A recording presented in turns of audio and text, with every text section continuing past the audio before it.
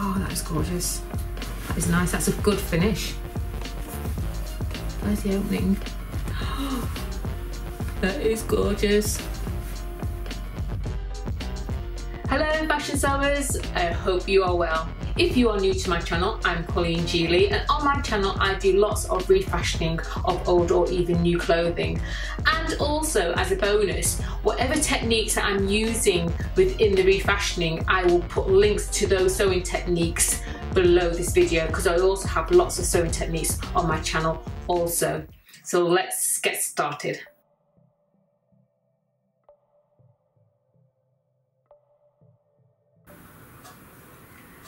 I also like to challenge myself when it comes to refashioning because I really don't know what's going to happen or you know I've got an idea in my head that I want to go with so we know we're going to make the shirt the project so I'm refashioning the shirt and taking elements from the dress in order to give this shirt this kind of new look this new style and I hope it's going to work my idea that I have. Um, I will walk you through the video about the reasons why I'm doing certain techniques and the reasons why I'm not and um, I may actually introduce fabric but not in this video but generally speaking that also could be an option when it comes to refashioning because I've got lots of fabric. So let's get started on the project. So this is a shirt that I'm going to transform and the dress we're going to be taking elements from the dress in order to jazz up this shirt. I love the colours. There's a, a mixing of um, prints. So we've got the stripes here and we've got this kind of paisley print that's on this dress.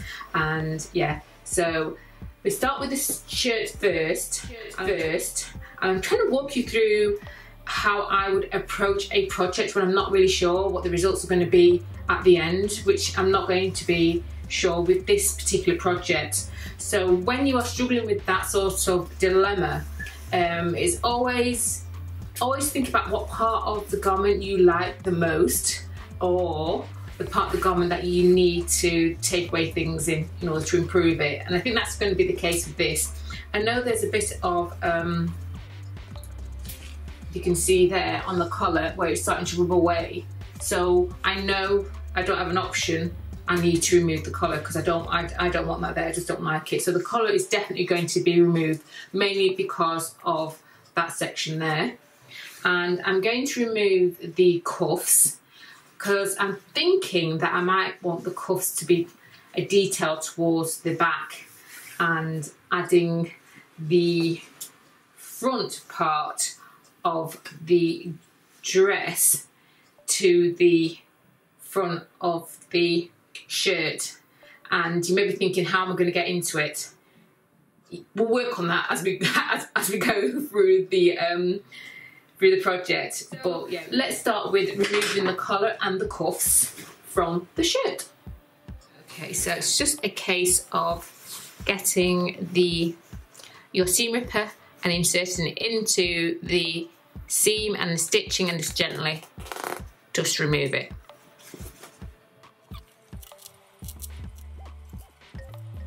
So the cuffs and the collar are now removed. So we have the collar stand and we have the sleeves that have no cuffs on the end. So the next thing we need to do is to put this to one side. Now what I like about the dress is the shirring and I want the shirring to be the cuff for the sleeves and I also want, so I'm going to use the back of that in order to provide myself with the cuffs for the sleeves. And the front, I'm also going to keep the shirring as well and use the top part of the dress. So let's start with that first. Let's go inside. Okay not the best quality dress. Um, it's just the colour and the, um, the pattern that I really like. So this is going to be the end of the cuff, the scallop edge here. So I'm going to cut along the seams here.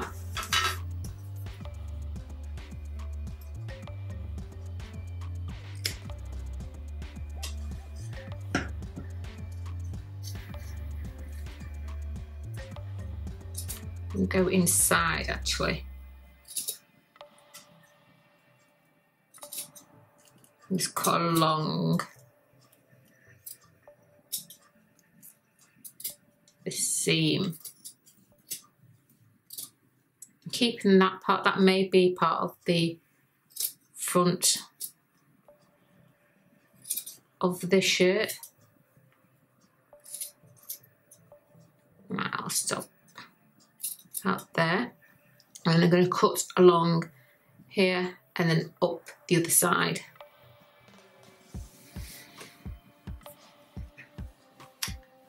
Okay, so this is what I'm left with. That's what I'm left to work with. So I'm going to fold it in half. So I have a cuff for each sleeve.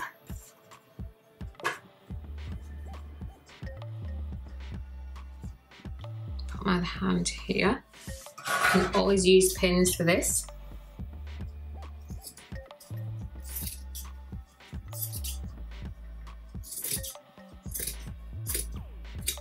It's done. It looks really small, but it should be okay because it is shirring. So it should, I should be able to get my hand in there pretty easily, as you can see. Yep, brilliant. So I'll put that to one side. I'm thinking about maybe I should do the sleeve first before cutting the front just in case I may want more of it. I don't know, or less. I won't want less for sure. I may just cut it the same as I've done with the back. But let's just focus on the sleeve for now. So it'll be a case of me going to my sewing machine, folding it in half, and then sewing all the way down.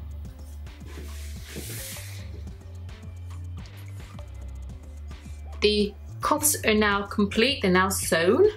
This is going to be the edge of the cuff and this is what's going to be, this part here is going to be sewn onto the sleeve. So we now need to get our shirt and get the sleeves to our shirt and we are going to keep the shirt on the right side and find the seam, the underarm seam and then we're going to keep the cuffs on the wrong side and we're going to place the cuff onto the sleeve. So we want to make sure the finished side goes on first, like so, and just put it onto the sleeve. Do the same with the other side. You're going to need some pins for this.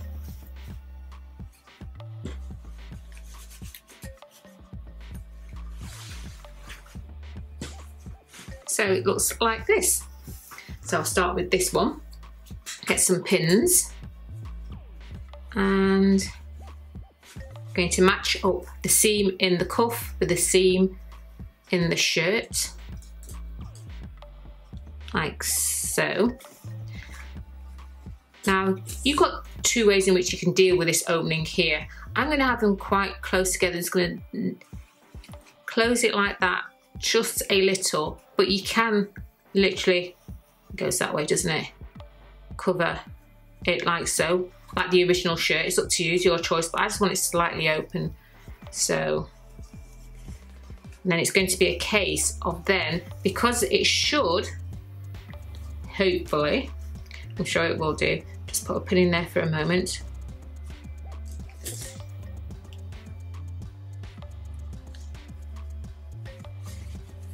Yeah, see me opening it out like so that means I should, yeah, it will definitely be able to fit because of the shirring, the elastic that's in the cuff, and then I should be able to sew that all the way around.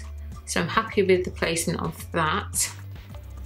So I'll put a pin in here and I'll continue to put pins in all the way around. So now I'm going to sew around the cuff and the sleeve.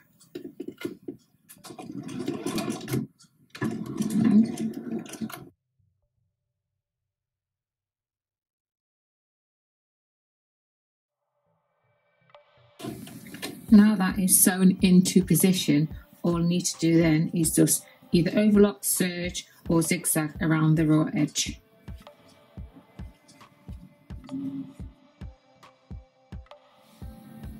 The sleeves are now complete. This is the wrong side. And neaten the edge, zigzagged all the way around. Remember, you can overlock, you can serge. This is the right. Yeah, that's really gorgeous. Right, I'm going to try one on. I'm so eager to try.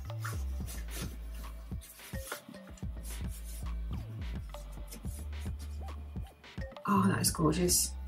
Is nice. That's a good finish. Where's the opening?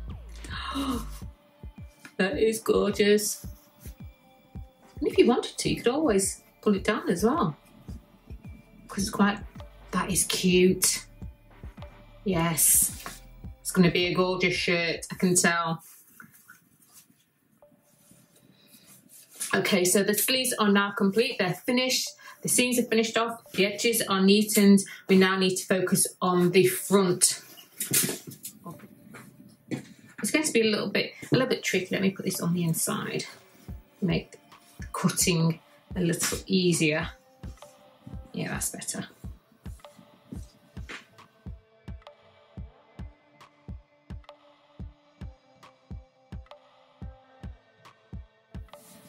Yeah, I'm happy with that. That's good. Let's get the shirt. I'm gonna cut this away. This is annoying me. Labeling on the inside. You know, if you are going to sell any of your refashions, don't cut away the labels.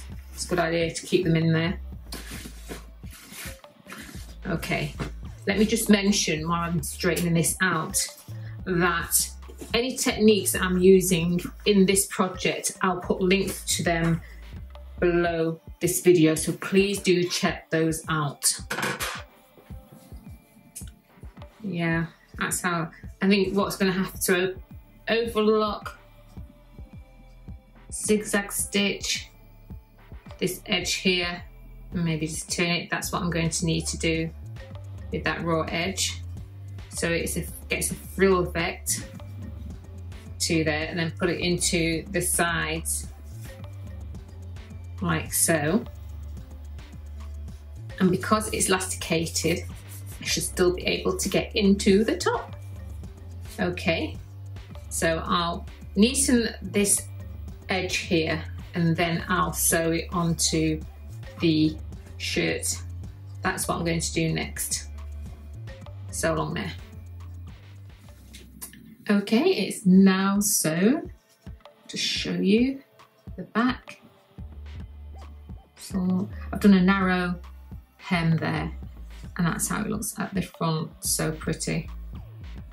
Okay, so we now need to attach this to the shirt.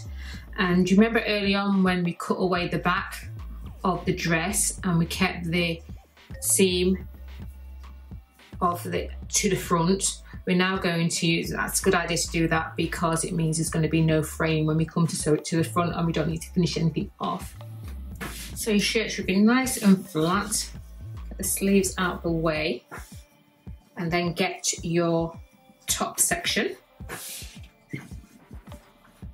Okay, so this is the right side I'm working on and the right side of your top needs to be facing down. So right side to right side and we're going to pin along the seam of the shirt. Start from the underarm.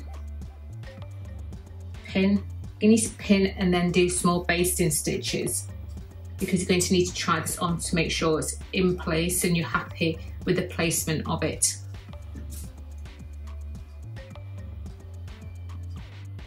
Like so and then just pull that together a bit, pull it over and do the same on the other side. Put a couple of pins in.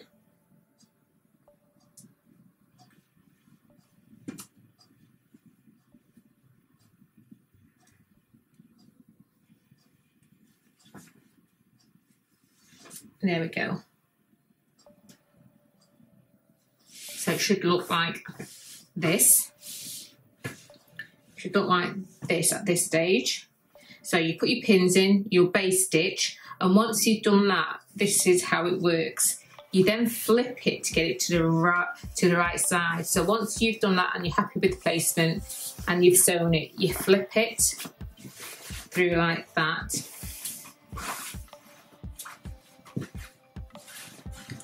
Your seams will be nicely sewn and tucked on the inside.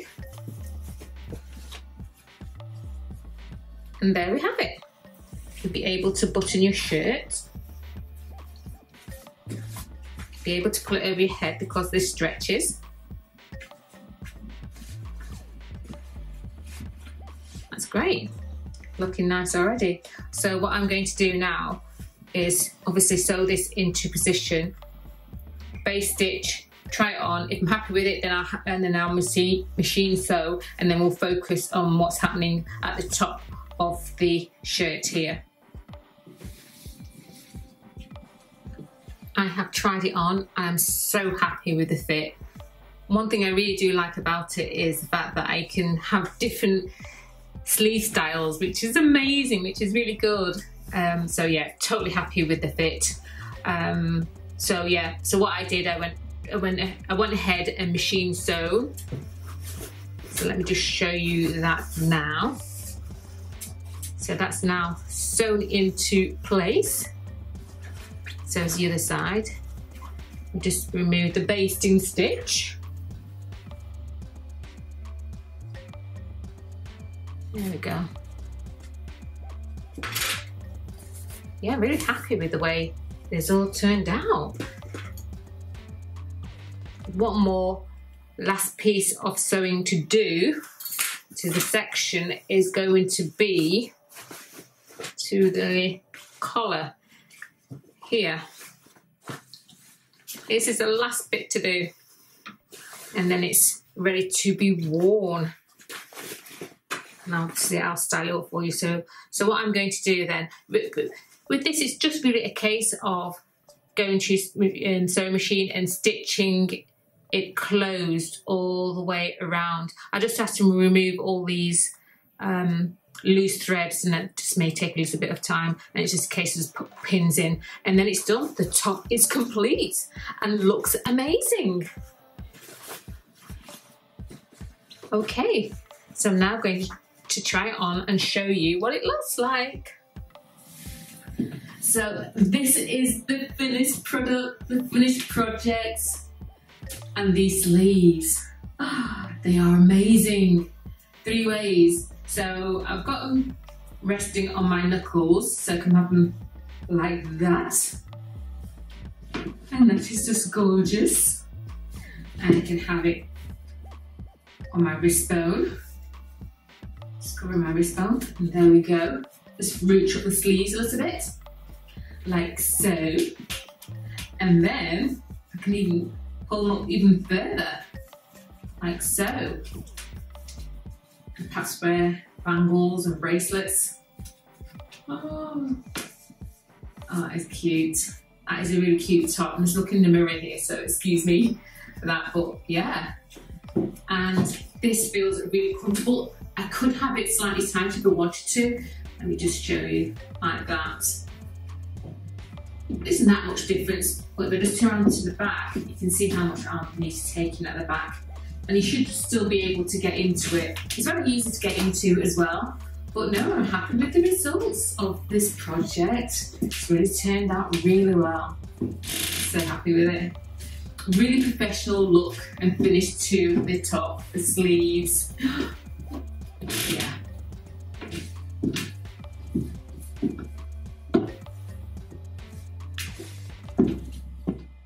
Well, I surprised myself with this project the sleeves, um, yeah, the sleeves can be worn in a few ways, which is really good. I like the fact that they're super long, so I can have them almost touching my knuckles. I can pull them up, so it gives a kind of like a, a ruffled effect to the sleeves. Um, yeah, there's three different ways I can really wear the sleeves and give it a different look. Really liking that. Um, it's, it's quite loose fitting, but I don't mind that. I could, if I wanted to, kind of pull it in at the back. Um, that's also an option and I could use the cuffs to do that.